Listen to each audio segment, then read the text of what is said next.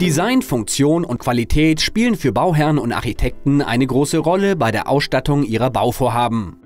Das gilt für Lichtschalter und das Badezimmer ebenso wie für Fenster. Doch wie gehen wir mit diesen hochwertigen Produkten auf der Baustelle um? Bei Lichtschaltern und Sanitärprodukten ist die Sache klar. In der nassen Rohbauphase wird ein Unterputzelement montiert. Dann werden die schmutzigen Arbeiten erledigt und erst danach Lichtschalter und Wasserhähne installiert. Fenster werden jedoch noch immer direkt während der nassen Bauphase montiert. Somit sind sie Verschmutzungen und Beschädigungen schutzlos ausgesetzt.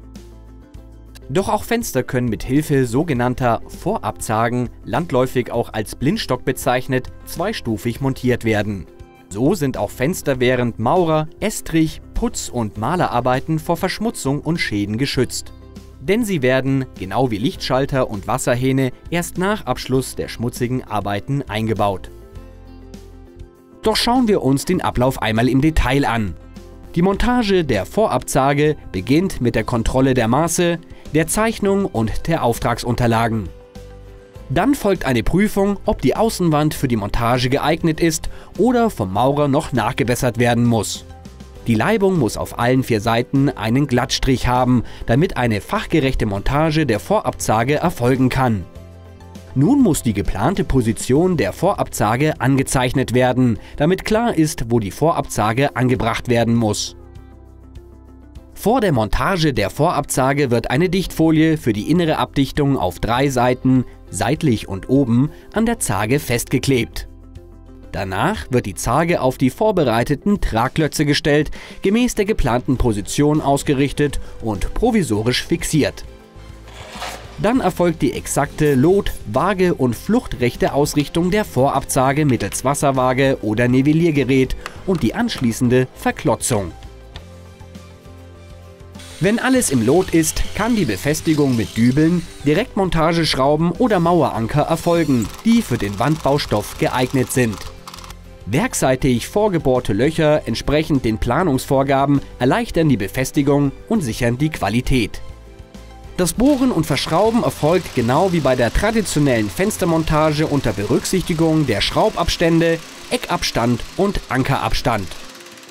Die vorher auf die Vorabzage geklebte innere Dichtfolie kann nun an die Mauerleibung geklebt werden.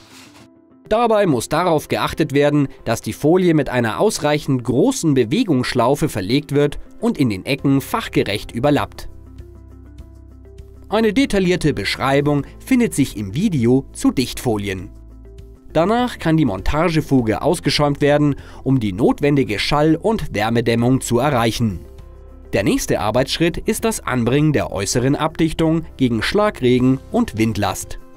Dies kann für ein außen geeigneter Dichtstoff, ein Dichtband, eine Dichtfolie oder ein Dichtprofil sein. Zusätzlich sollte auch die Montage weiterer Elemente in der trockenen Bauphase geplant und vorbereitet werden, beispielsweise die äußere Fensterbank oder die Rollladenführungsschiene. Bei einem Wärmedämmverbundsystem wird die Anputzdichtleiste an der Vorabzage montiert.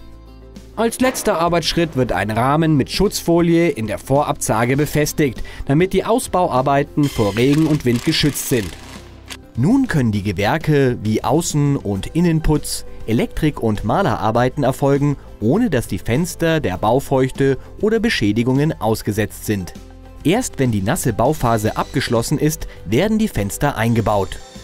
Zunächst wird die Windschutzfolie ausgebaut und für das Recycling verpackt. Bevor die Fenster eingesetzt werden, müssen noch einmal die Maße kontrolliert werden. Es folgt die Reinigung der Vorabzage. Dann wird der Blendrahmen in die Zage eingesetzt und durch die vorhandenen Löcher mit Sonderschrauben festgeschraubt.